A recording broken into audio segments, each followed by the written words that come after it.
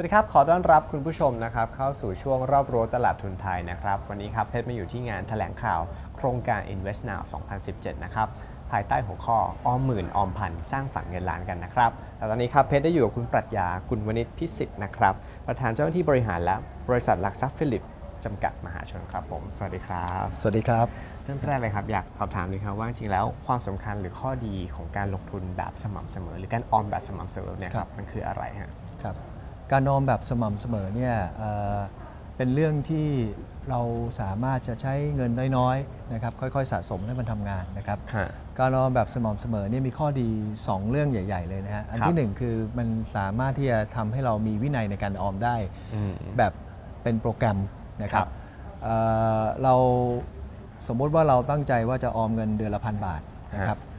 เราก็ให้โบรกเกอร์หรือให้ทางกองทุนรวมนะบครับลจเนี่ยสามารถตัดเงินของเราแล้วก็ไปลงทุนทีละพันนะครับเพราะฉะนั้นอันแรกเนี่ย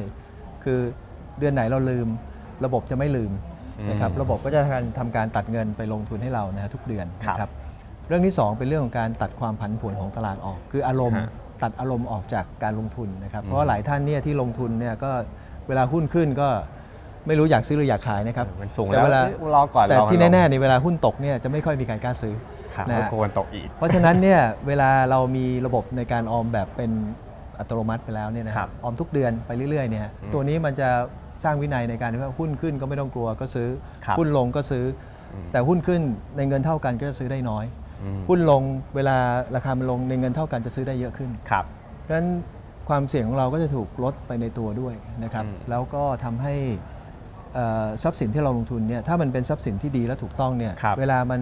perform มันกลับมาตลาดหายตกใจอืมนะครับหรือกลับมาสู่ภาวะปกติครับเงินเรามันก็จะทำงานอืมนะต่อไปไอ้ทรัพย์สินเราก็จะเติบโตตามตามสิ่งที่มันควรจะเป็นครับนี่ก็คือข้อดีของการลงทุนนี่การออมแบบสม่ำเสมอแบบสม่ำเสมอครับแล้วทางหลักทรัพย์ฟิลิปเองนะครับมีครับผลิตภัณฑ์หรือบริการอะไรไหมครับที่ช่วยตอบโจทย์ ครับจุดนี้ คือฟิลิปเราเนี่ยนะครับก็เอ่อเดินทางมาถึงวันนี้เรามีโครงการที่เราเรียกว่า Share Builder Plan นะครับหรือบัญชีออมหุ้นครับแล้วแล้วก็เราก็มีบัญชีอีกบัญบัญชีหนึ่งที่เราเป็นประเภท Fund Builder Plan นะครับ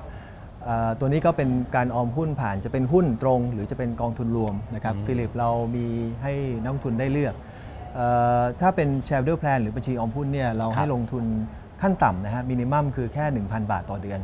ท่านสามารถที่จะเข้ามาเลือกซื้อหุ้นอย่างแม้กระทั่งปตทปูนใหญ่นะครับครับ Advanced Info อะไรพวกนี้ถ้าถ้าเป็นหุ้นพวก blue chip ใหญ่ๆ ซึ่งฮะจริง ๆ วันนี้เราเดินเข้าไปซื้อในตลาดเนี่ยหนึ่ง board lot 100หุ้นเนี่ยต้องใช้เงิน4 5 0 0 0 0บาทแล้วครับนะครับแต่วันนี้ 1,000 บาทเองสามารถจะซื้อหุ้นเหล่านี้ตรงได้เลยอืมส่วนถ้าเป็นกองทุนรวมนะครับเนื่องจากบลจบางบลจจะมีข้อจำกัดเรื่องของการลงทุนขั้นต่ำนะคครัรับบเราเลยขอ limit ตัวนี้ว่ามินิมัมคือ 3,000 บาทอืมนะครับก็สามารถมาซื้อเอ่อ